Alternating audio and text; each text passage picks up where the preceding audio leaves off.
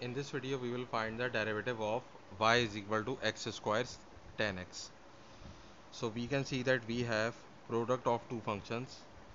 So we will apply the product rule of differentiation which is d by dx of uv is equal to u times derivative of v plus v times derivative of u.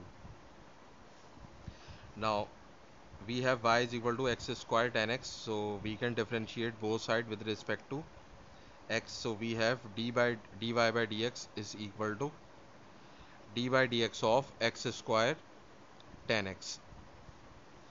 Now we can see that we have x square in place of u and tan x in place of v so first we will write u which is x square then the derivative of v which is d by dx of tan x and then plus v v is tan x and then the derivative of x square.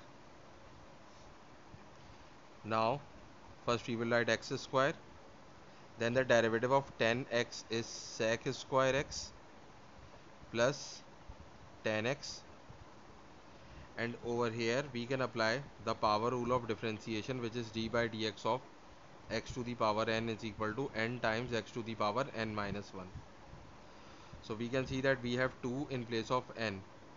So we will write 2 over here and over here. So first we will write 2 then x to the power 2 minus 1 now we have x square sec square x plus tan x multiply by 2x because x to the power 2 minus 1 is x. And then this can be written as x square sec square x plus 2x tan x. And this is the required answer